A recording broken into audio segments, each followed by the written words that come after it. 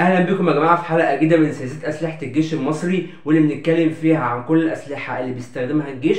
والنهاردة إن شاء الله هنتكلم عن نوعين من الأسلحة وهو الرشاش M2 براونينج والبندقيه القناصه باريت M82 وحلقة النهارده هتكون مقسومة نصين. النص الأول هيتكلم فيها عن الرشاش M2 براونينج والرشاش M2 براونينج هو رشاش تقيل. صممه المهندس العسكري جون براونينج بعد نهاية الحرب العالمية الأولى. والرشاش ده بيشبه جدا في تصميمه. للرشاش براونينج 19 19 واللي بيستخدم عيارات من 30 ل 60 مللي.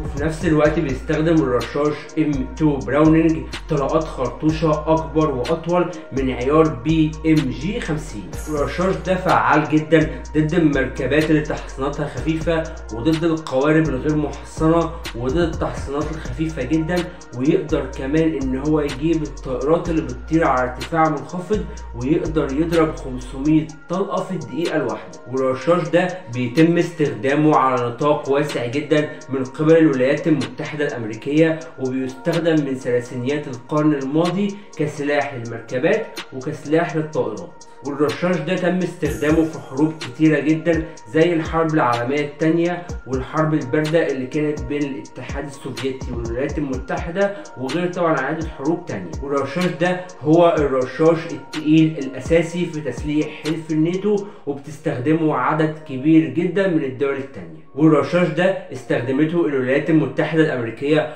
أكتر من أي سلاح ناري تاني باستثناء المسدس كولت M1919 واللي صممه برضو المهندس جون براونينج أما بالنسبة للمصنع اللي صنع السلاح اللي إحنا بنتكلم عليه النهارده وهو رشاش ال M2 براونينج هو المصنع جنرال ديناميكس و FN هيرستال وبالنسبة للكمية اللي تم تصنيعها من الرشاش فهو 3 مليون رشاش.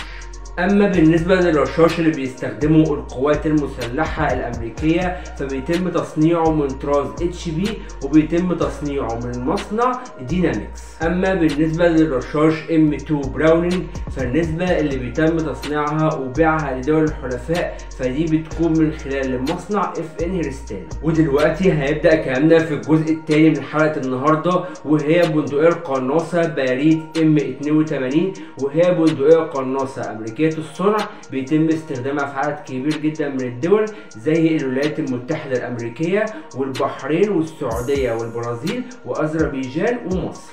أما بالنسبة للتسمية العسكرية فهو اي جي 90 وبيتم استخدامه خلال الفترة من 1989 وحتى الوقت الحاضر. ومصمم البندقية هو المهندس روني باريت ووزن البندقية من 13 ونص ل 14 كيلو جرام وطول البندقية من 122 ل 145 سنتيمتر. وكده يا جماعة نكون وصلنا لنهاية حلقة النهاردة وإن شاء الله الحلقة الجاية أكمل كلام معاكم عن سلسلة أسلحة الجيش المصري وهتلاقوا كل اللينكات بتاعتي تحت في اللينكات. ما تنسوش تعملوا like و subscribe وتفعلوا زر الجرس عشان يوصل لكم كل جديد سلام عليكم